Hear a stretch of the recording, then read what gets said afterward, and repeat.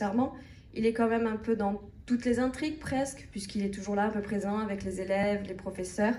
Mais euh, il y, a une relation que j'aimerais bien voir un peu plus. Euh, c'est entre Emmanuel Tessier et Antoine. Est-ce que ça va, ça va se produire un peu plus? comme euh, dans relation.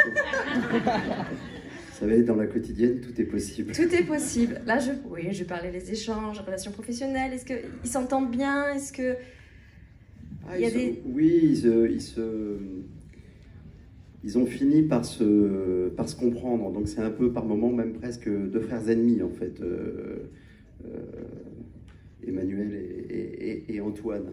C'est deux fonctionnements totalement différents. C'est pour ça que c'est amusant aussi de les voir euh, diriger finalement ensemble dans ce bureau. Enfin, le boss c'est lui, hein, c'est Emmanuel. Mais c'est vraiment c'est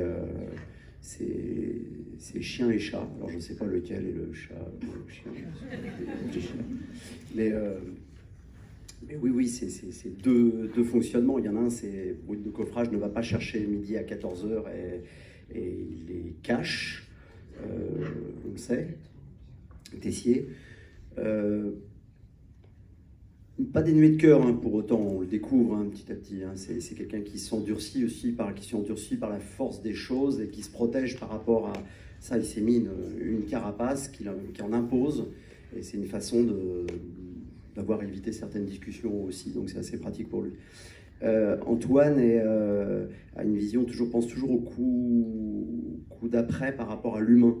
C'est-à-dire qu'il est sur l'humain, il est aussi beaucoup dans l'affect. La, dans donc il va être moins catégorique sur, euh, sur, sur, certaines choses. Voilà.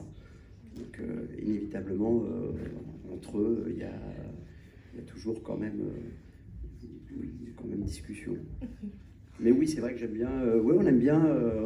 on a noué, on a comme ça tissé. les auteurs s'amusent aussi avec. Il y a un rapport qui s'est qui s'est euh, construit entre ces deux personnages, qui est, euh, qui est assez intéressant. Pas les seuls, hein, euh, beaucoup de personnages ont ça, mais c'est vrai que c'était c'était amusant, je pense, sur ces deux-là, parce que c'est deux extrêmes à mm. faire. Et je voulais venir